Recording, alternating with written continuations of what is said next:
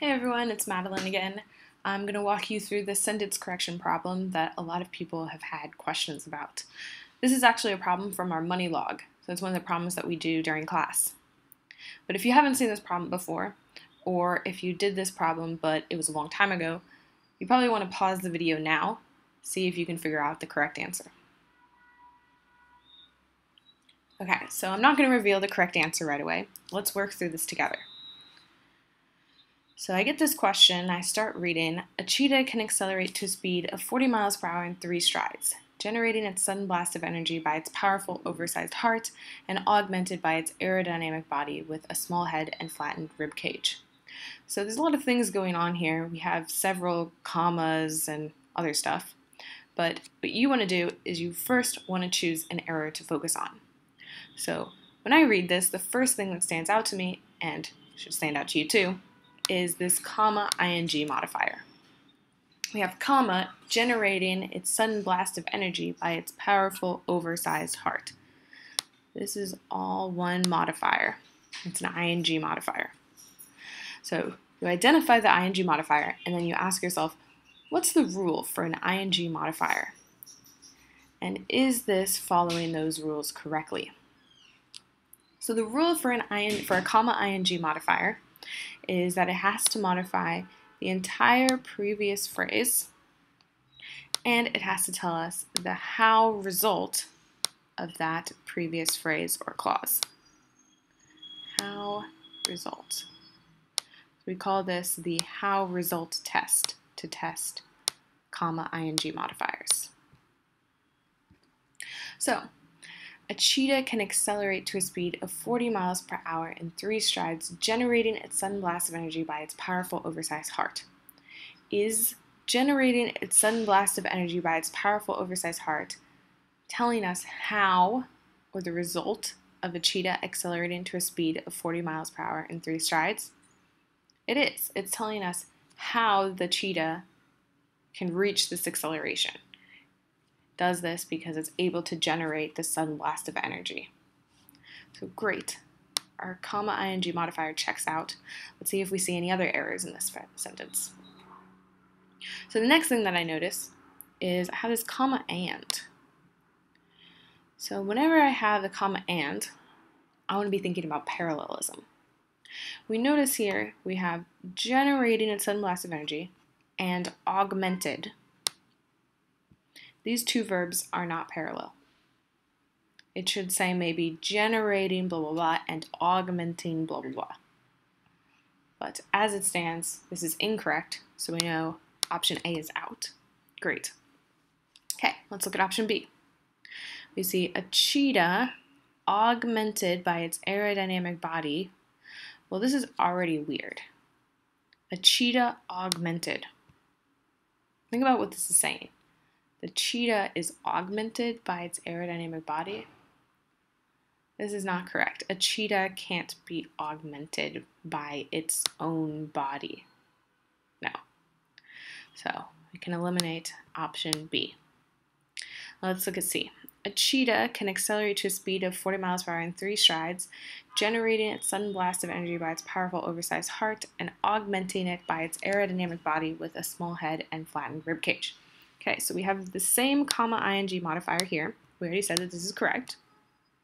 And we see we have this and, and they changed it to augmenting it instead of augmented. So we can see now with this and, we have two parallel phrases, generating a sudden blast of energy and augmenting it by its aerodynamic body. Okay, so this is parallel. This is looking pretty good so far. But there are a couple other things we always want to look out for. One thing that we see here is we see a lot of its, augmenting it by its aerodynamic body, generating its sudden blast of energy by its powerful oversized heart. So it is a really important pronoun and it's often an error in sentence correction problems. So anytime you see an it, you want to ask yourself, what is this it talking about? What is the noun that it's taking the place of? So we know for it, it has to be a singular noun, and we know that it can only refer to one noun. example, we can't use it to refer first to the cheetah and then use it again, but this time it's referring to the heart or something like that. That would be wrong. So using those two rules, let's look at this it. What is the it talking about here? Well, it seems like the it is talking about the cheetah. So our sentence says, a cheetah can accelerate to a speed of 40 miles per hour in three strides, generating the cheetah's sudden blast of energy by we replace it here as well by the cheetah's powerful oversized heart and augmenting the cheetah by the cheetah's aerodynamic body with a small head and flapping rib cage. If you pay attention here, the it works maybe for here and here. We're saying the cheetah's blast of energy, the cheetah's powerful oversized heart. But then here it says augmenting the cheetah by the cheetah's aerodynamic body. This doesn't work. We're not augmenting the cheetah. We're augmenting the cheetah's acceleration, perhaps. In this case, this it is incorrect, and we can eliminate option C. Great, working through this. Let's look at D.